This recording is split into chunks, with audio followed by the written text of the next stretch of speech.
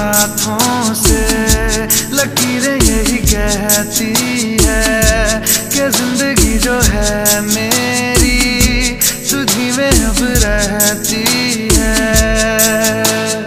लबों पे लिखी है मेरे दिल की ख्वाहिश, लफ्जों में कैसे मैं बताऊँ? एक तुझको ही पाने की खातिर सबसे जुदा